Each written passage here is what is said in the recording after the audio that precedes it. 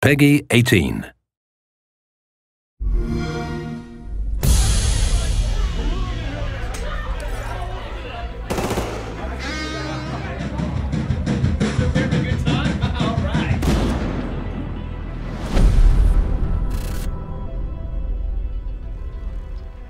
My name is Simon Kudryavtsev. I'm the audio director for The Division 2. I think sound is important in games because it should always be uh, an element that just complements the gameplay. Sound, for me, should just always help drive the player forwards and be that natural element. We did trips uh, to Washington D.C. and to uh, to the states just to get familiar with the culture, with the with the layout of the land. We actually had a lot of time to prepare and research Washington D.C. and have the ability to record uh, sounds on site as well. The first prototype uh, that we did uh, in the Division 2 was uh, made on uh, Slope Street, which is quite close to Georgetown. And of course, we had to go there also just to make sure that we had that specific street as well.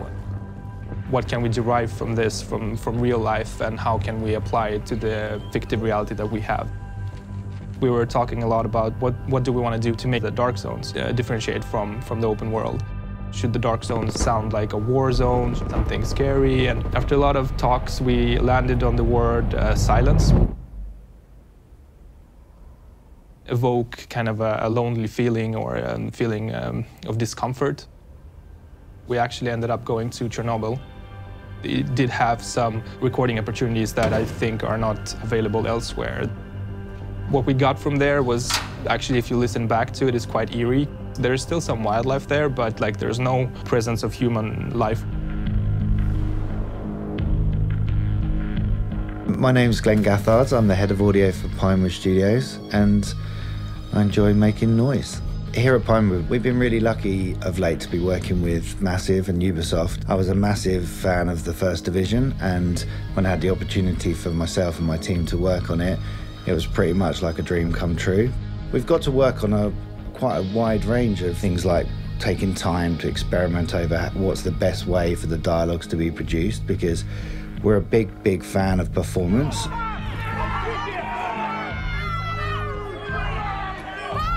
And whether that comes from Foley or whether that comes from the dialogues themselves, like we really like that kind of organic process of like allowing voice actors to be actors, allowing them to be physical.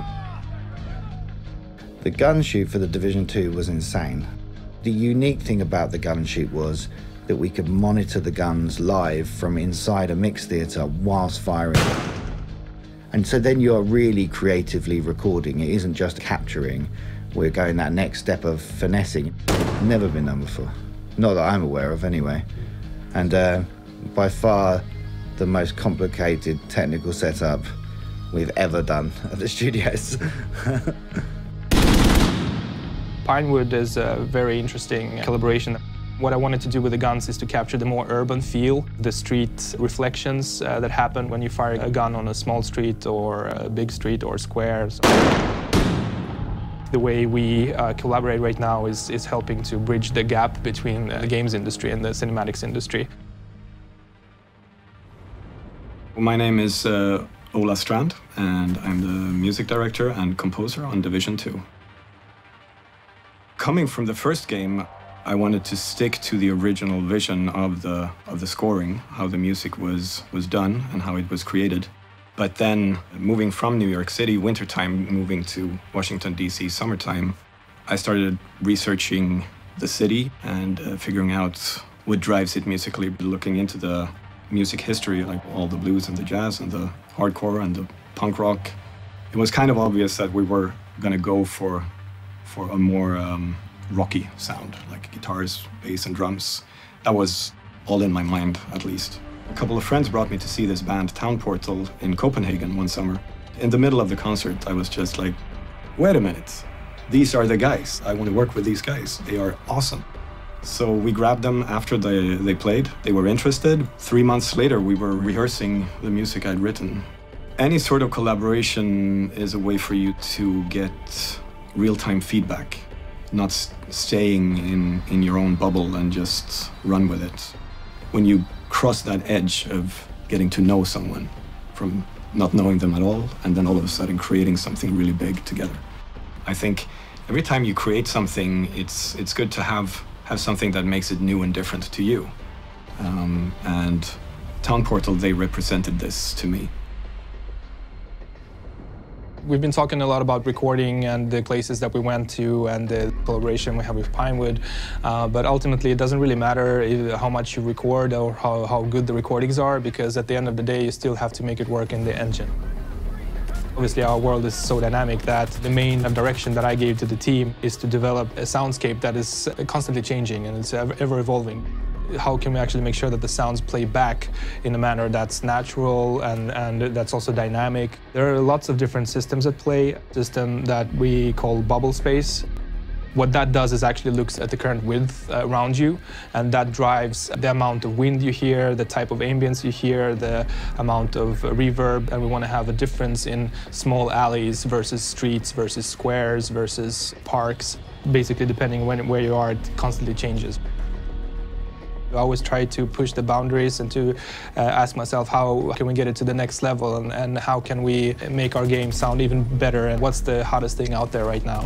I was really interested in Dolby Atmos. I was intrigued by how we could use the Atmos to enhance the features that we have in our game. One of the interesting concepts is of course Dolby Atmos for headphones. Dolby Atmos for headphones work with any type of headphones, any type of stereo headsets, so the player will be able to experience a better perception of uh, spatiality, so things that are surrounding the player will be uh, perceived in a more natural way. One of the first things we did is experimenting with the sounds of weather.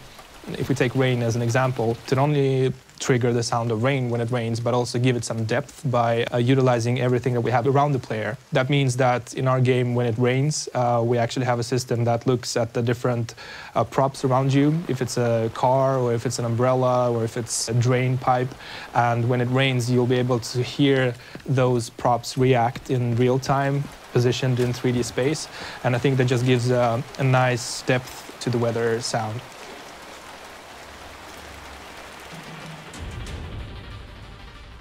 With the mix, I think it's really when it all comes together.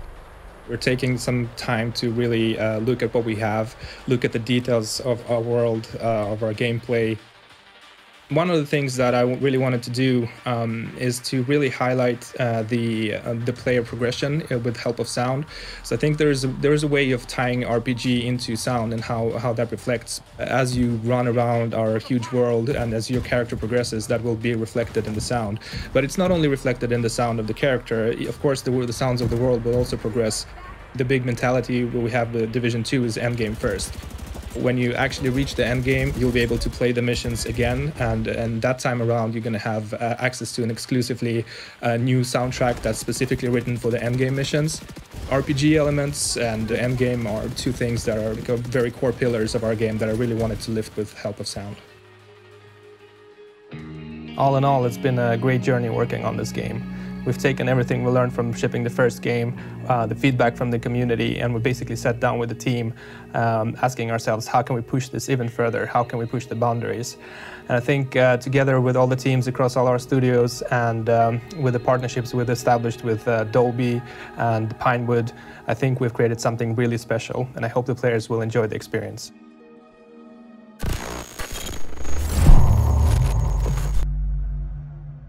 Play it on the world's most powerful console.